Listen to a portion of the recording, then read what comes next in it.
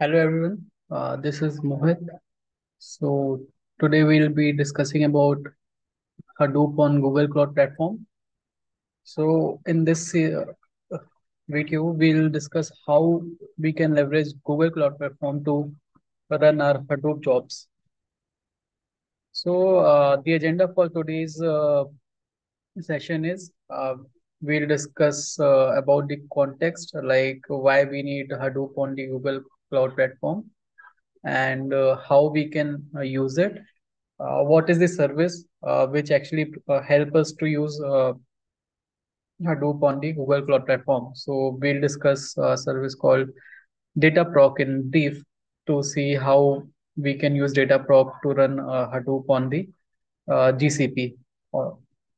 The then we'll discuss how we can migrate the on-premise Hadoop infrastructure to the Google Cloud.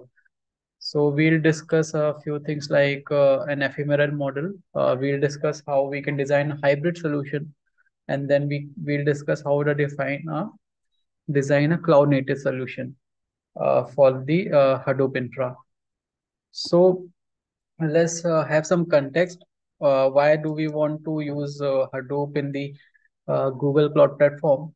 So the first thing is we uh, since we are in the on-premise setup and uh, we want to migrate it on the Google Cloud Platform as a part of the migration process, uh, then the thing is uh, we first need to see the compatibility of how the Google Cloud Platform uh, works when it comes to Hadoop. So GCP provides inbuilt support for the Hadoop platform. Uh, there is a service called as Dataproc. It is a managed Hadoop and Spark environment. So uh, it will be uh, looking similar to what we have in uh, on the on-premise setup. Let's say if we are using a Cloudera uh, as a setup, then we'll see how Cloudera can uh, how Cloudera setup of Hadoop can be replaced with Google Cloud Platform using Dataproc. So the second thing is it manage it provides the managed hardware and configuration.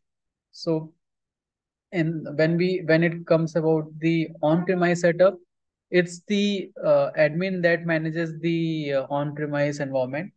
Uh, instead of that, uh, GCP uh, help us to uh, focus only on the data and our jobs instead of worrying about the hardware and other configurations. So that is what it helps us to just focus on the uh, job and uh, we don't have to manage the cluster as such as it is uh, provided by uh, GCP. The third one is the uh, simplified version management. Uh, simplified version management basically uh, help us to uh, migrate from on-premise to uh, GCP uh, Dataproc. Uh, basically, uh, let's say if you are using Spark 2.6 in your uh, on-premise uh, environment, and uh, now you want to move to uh, uh, on on the uh, Dataproc. So Dataproc will provide that specific version of Spark uh, it all it will also ask you if you want to uh, move to an uh, higher or lower version. Let's say currently we are running on Spark 3 and I want to use Spark 3.3. Then it will help you to select that version and you can run your job there. The last one that uh, uh, that is the flexible job configuration. So instead of having one monolithic cluster uh, that we currently see in the on-premise setup, that we only have one cluster for say 10 nodes with 100 GB RAM on each clusters. Uh, instead of that, you can use a flexible job configuration where you can uh, have multiple clusters in place. Even you can have a cluster for your one job as well. And you can uh, start and stop your cluster. You can auto scale your cluster uh, based on a job configuration. So this help uh, and uh, this help us to have multiple clusters based on a requirement, uh, run your job and then uh, delete the cluster when it is not required. It, all in all, it will help us to uh, reduce cost as well since the job will run when uh, when it is required. So uh, let's discuss in brief about Dataproc. So Dataproc is a managed Spark and Hadoop service Uh, it helps us to leverage the open source data tool for batch processing, uh, pairing, streaming, and machine learning, all of them. Now, Dataproc automation help us to create the cluster quickly and manage them easily and save some money when, by turning the cluster off when there is no job running. So uh, in Dataproc automation, let's say I have a Spark job uh, which uh, calculate the daily sales and uh, um, profit margins and say revenue that that is being generated. So Dataproc automation will help us uh, that for this particular job, you can create a cluster using a configuration. Uh, you can run them. Uh, once the job is completed, uh, this cluster will shut down. Hence, let's say if you have a, your job took 10 minutes to complete only, uh, you will be charged for those 10 minutes instead of an hour or so. Uh, then uh, we have to spend much less lesser time and money on admin and we can focus more on the job and data. So you don't have to worry about the cluster. You just have to specify okay i want to use this particular uh, version of uh, Dataproc and uh, we want to use two master nodes and six data nodes something of that sort you just have to define in the configuration and once you submit the job everything will be in place for you uh, Dataproc has an advantage that it has a built-in integration for other GCP services. Uh, let's say I want to uh, use BigQuery, I want to use Bigtable, I want to use logging and monitoring to see how my job goes. Uh, if there is some failure, we can just go to the cloud logging and we can see uh, what was the reason for that job uh, that got failed. Uh, also, if you want to have a data warehouse, uh, over GCP, you can use a BigQuery. So your Spark job can directly dump in the data to the BigQuery and uh, BigQuery can be used as a data warehouse. GCS, Google Cloud Storage can be used as a data lake. And then uh, there's a Bigtable as well. Uh, for uh, your NoSQL use cases, uh, you can use Bigtable for the same. Uh, one advantage is that uh, Dataproc cost is really low. It costs only one cent per virtual CPU per hour. Then, as I mentioned, that it only charges for the seconds that you have used with a minimum one minute billing period. So say you started your cluster, then only for the first minute you will be charged. And after the first minute, only per second you will be charged. So say if my cluster was uh, uh, active for 1 minute 30 seconds, you will be charged for 1 minute 30 seconds. And if your cluster was active for 30 seconds, then it will charge you for a minimum of one minute. So one minute minimum is something that is uh, that you are going to be charged as as soon as you the cluster is active for the job. Uh, then uh, you can uh, start, scale, and shut down your cluster, and also the operation uh, that uh, like if you want to start a cluster, it won't take more than 90 seconds uh, like they have mentioned, but uh, sometime it takes uh, say 100 to 120 seconds, but not more than that. So within two minutes, you will have your cluster setup done and your job will get executed there. And once it is done, even the uh, shutting down of the cluster also not take much time. So uh, generally uh, within 60 seconds, I have seen that cluster get shut down. Now, once you create a Dataproc cluster, it will look something like this. Uh, we'll see uh, in detail when we'll have a proper lab session for Dataproc. Uh, but once you have created the cluster, it will tell you like how many worker nodes you have selected, what, how many preemptible worker nodes. Preemptible worker nodes are uh, the less expensive node, I would say. but uh, with comes with a caveat that we'll discuss later. Uh, it will tell you about where your where your cluster is set up, what is the zone, uh, what how many master nodes, what is the disk size, uh, what is the machine type, like N1 standard one, which provides one CPU and 3 GB memory. It can it can be uh, it can be uh, a high memory type of a machine uh, like uh, say if I have a memory intensive job, uh, which requires a lot of memory per node, then you can use a high memory uh, type, high memory machine type. On the other hand, if uh, I don't care much about memory, but I want to uh, run my job in parallel, you can use a lower memory and high CPU uh, node. So it will have more CPU cores, uh, but the lesser memory. Now, if I want to migrate from on-premise Hadoop uh, servers, on-premise Hadoop infrastructure to Google Cloud, we uh, we we have to think about uh, three four things like uh, it won't be as straightforward. It can be uh, but it is not recommended. So say if i want to have everything uh, like how my on-premise uh, cluster is i want to have a lift and shift kind of a thing like whatever tools we were using on-premise how you were storing your data in on-premise how do you how you were processing your data on-premise. If you want to uh, go ahead with that? Well and good. Like uh, dataproc will provide you everything. But uh, instead of that uh, when it comes to google cloud and if you want to save your money and you want to save your uh, time you can have a shift in approach. Like instead of having one cluster one monolithic cluster of uh, uh, one big cluster you can have a cluster for each job or a set of jobs so say I want to move my data from uh, the input layer to the uh, say integrated layer or into the refined layer. So uh, you can have a uh, these are the dependent job. Like I have one table uh, where we are going to read the data.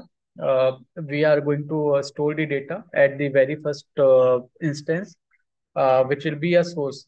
So that will be my first first job uh, after once the job is uh, once we have uh, the data in the raw location uh, we might want to have a refined uh, uh, data refined data where we have to apply some filter on the source data. We have to say organize my data in a particular way. I want to compress my data into a parquet format. So these two are dependent jobs. So reading the data and populating my raw raw layer. Raw layer basically means where you have as is copy of the source data. And then we have the refined layer where we will be having a copy of data um, which is more refined, filtered, and compressed. So these two can be uh, th these two jobs can be uh, executed in one cluster, and then there would be some independent job which can be uh, executed in a separate cluster uh, no so that is the shift of approach. We'll discuss that more in detail in uh, some time. Uh, then you you have to use a google cloud storage instead of hdfs to process the data. So since hdfs is an expensive uh, uh, like running hdfs on dataproc to store the data it would be uh, more expensive than using a google cloud storage. So it is recommended that when you move from on-premise to GCP, uh, you use a Google Cloud Storage uh, for uh, for your data lake. Similarly, if you are in AWS, use S3 instead of using the EMR provided HDFS. Now, with uh, less time and money on uh, spent on administration. We have uh, more focus on job and data like we have earlier discussed. So basically you have your data stored in one place, you have compute in another place and you just have to focus on the data and job instead of uh, thinking about your uh, clusters like how to manage your cluster. That is taken care by gcp uh, it is also recommended that you can use uh, more gcp products instead of uh, using the open source tools. So you can have your uh, dataproc cluster and use the bare minimum of that cluster. For other purpose you can use GCP offerings. So say if I want to use a database uh, like a Hive, instead of that, you can use a BigQuery. Uh, if you want to log your data instead of you logging it inside the Dataproc cluster, you use a cloud and monitoring provided by uh, GCP. It will be easy to manage as well as it will be uh, much, uh, I would say, uh, cheaper than than the data uh, than you set up everything in Dataproc. So uh, we talked about uh, you instead of having one cluster, you can have multiple cluster. Uh, so this particular thing can be done uh, with the help of an ephemeral model. Uh, what ephemeral model says that uh, for a job, you create a cluster, you run your job, and then you once the job is completed, you stop your cluster. So if you go via this model, uh, you don't have to stop. Uh, there would be a workflow uh, which will uh, which will start the cluster, it will uh, execute your job, and it will stop your cluster. So with this model, it helps you save a lot of money because you are just going to pay for the time when your job was active. Once the job was deleted or once the job was completed, it may be success, it may be fail. Your cluster will shut down, and you have don't have to you don't don't have to pay for uh, for a particular uh, you don't have to pay for a whole day or something like that. You just have to pay for the hours that you have used, also minutes for that matter. Also, uh, there may be cases where uh, you have a more complex job which will require, say, uh, hundreds of GB of data uh, memory. Uh, you can have the job uh, for that purpose. Also, you can have a smaller job which which will get executed in 10 minutes, which require a few GB of data set.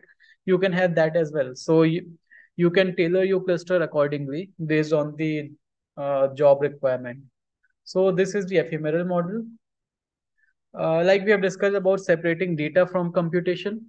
Uh, if we don't use HDFS as a persistent storage, uh, we can uh, use the ephemeral model. If you want to use HDFS as a persistent storage, then you can't use the ephemeral model that because you have to uh, keep your uh, cluster running forever. this comes with the cost implications as well. Also, if you have GCS instead of HDFS, the access permissions are easier to manage since GCS uh, uh, can leverage the identity and access management. You can have different roles for different users. Like if there's a PII data, you can tag that and you can uh, provide uh, selective access. So not everyone have access to all the data. Uh, managing that thing is easier in the GCS instead of HDFS it requires less maintenance from uh, user perspective. Uh, like I don't have to interfere much. I ask GCP to manage it for, for us. Uh, it also gets integrated with other GCP services. I You can integrate GCS, Google Cloud Storage with BigQuery as well. You can uh, leverage other services uh, there as well. Uh, it is expensive, expensive uh, than HDFS, obviously, uh, because you don't have to manage the persistent cluster. You have to, you don't have to run your Dataproc cluster forever. You just have to run when your job, when your job is required to execute.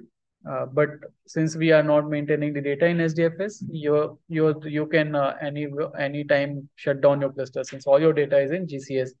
So these are the these are the advantages, uh, like if you separate the data from computation. Now, uh, let's see what are the different ways to migrate the data from on-premise to Google Cloud. So here you see two uh, two images. Uh, one is the on-premise cluster and the other one is the G GCP. So in the on-premise cluster, you see there are four jobs running in one, cluster one. Okay. But when you move to GCP, uh, you use the Dataproc service. You can see that only dependent job, like I've discussed, that the job that takes the data from source and move it to the raw layer in GCS and then from raw to refine. Since these are dependent job, I can club them together and it can be executed in one cluster. Job 3 and job 4 since they are independent from each other as well as from job 1 and job 2 we can uh, schedule them in a different cluster. Storage if you see in cluster 1 we have the storage as hdfs uh, but in the uh, gcp uh, you have the google cloud storage you can have multiple bucket you can have one bucket it's uh, up to us like how do we want to organize our data set uh, based on uh, different scenarios like if your data has PII information or then you might want to have separate buckets and you can manage bucket level access, something of that sort. So this is how it looks like. Uh, we can have a hybrid solution. Uh, let's say uh, if I work in a bank and since bank has more sensitive data than anyone else, they don't want to move everything to uh, Google Cloud. Even though Google Cloud has uh, uh, like you know uh, security features that is required but there may be case that i don't want to move all my all of my data to gcp i just want to move some of the data to gcp and i want to maintain most of the data which is sensitive to me to the on-premise cluster so for that purpose we can uh, use a hybrid solution i want to i'll keep uh, sensitive data on premise and uh, whatever data is not sensitive i can move it to google cloud and uh, there may be other cases like there's some requirement that wants the data to be in on-premise. So in the in those cases, some of the data will stay on-premise and other will move to the cloud. Uh, there may be the case like uh, we are running uh, some other system as well, and that system uh, is not uh, we cannot connect that system to the uh, Google Cloud, since there is some technical challenges, there's some technical challenges. Then in that case also, the data used by other system, we have to keep on premise. Now, to maintain the hybrid solution, we would require an on-premise cluster forever, since uh, uh, some of the work will be done on-premise. Uh, we also have to maintain the Google Cloud clusters, uh, data sets, uh, since we uh, we want to have some of the data moved to GCP and we want to process that data in GCP. So you have to maintain the storage on GCP. Uh, you have to maintain the storage on on-premise as well. And we have to create a connection between on-premise to Google Cloud uh, so that when whenever you want to move the data to GCP, you can uh, have a connection in place and that connection will help you to uh, move the data from on-premise to GCP. Uh, designing a hybrid solution, uh, we would require a VPN. Uh, if you see over here, VPN is basically a gateway to connect your on-premise to the GCP, GCP clusters, GCP account. So you will have a VPN. This VPN will help us to uh, to connect with the on-premise cluster. Uh, now, whenever you want to move a data from GCP, uh, from on-premise to GCP, you can use this path where there will be a VPN gateway. then uh, we'll have a cloud VPN gateway, and there would be a Dataproc cluster where your job will be getting executed, which will take the data from on-premise and move it to the Google Cloud storage. Now, once the data is in the Google Cloud storage, it's up to us. Like if you want to use an ephemeral cluster, we can use the ephemeral cluster. This cluster will read the data from uh, storage. It may be a GC GCS, it may be a BigQuery, it may be a Bigtable. We can read from here, we can process the data, and we can write back to these storage services like GCP, uh, Cloud Storage, or BigQuery, or uh, Bigtable. So this is how hybrid solution looks like. If I want to have everything on cloud, we can have a cloud native solution. Here there are two ways again. If you want to have ephemeral jobs, you can have an ephemeral cluster if you want to have a persistent cluster, you can also maintain a per persistent cluster. You can maintain both as well. So it may be case, it may be a case where we want to have a persistent cluster for some use case, but in uh, we also want to have ephemeral cluster for uh, for our other use cases. So how it works uh, in case of uh, uh, an ephemeral cluster or a on-premise cluster, we will have a some scheduler like Apache Airflow there is a Google Cloud Composer, which is uh, which is basically uh, used. So Google Cloud Composer has a Apache Airflow running uh, in at the backend. So you can schedule your job.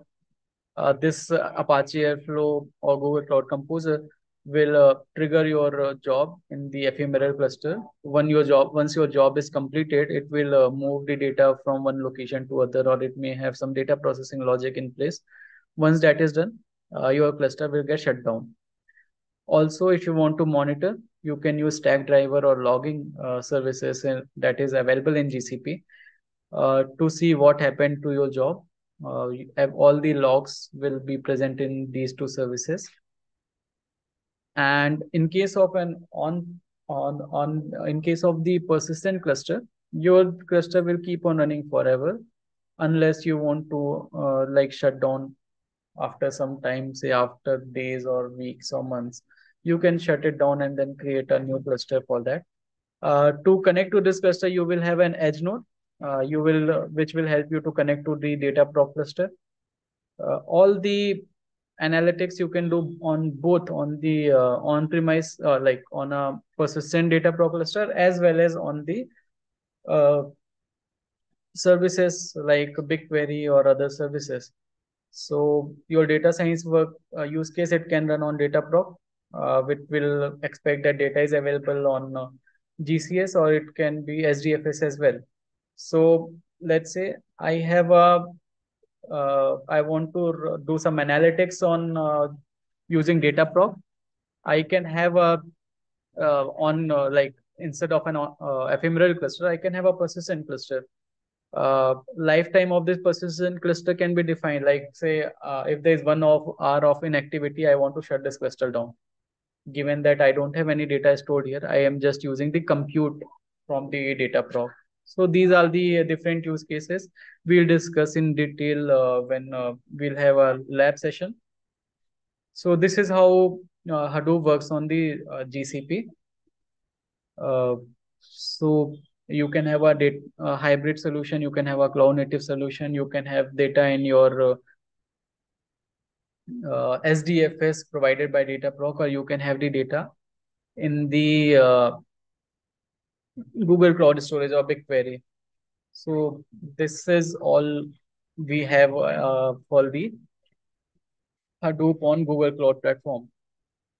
Thank you.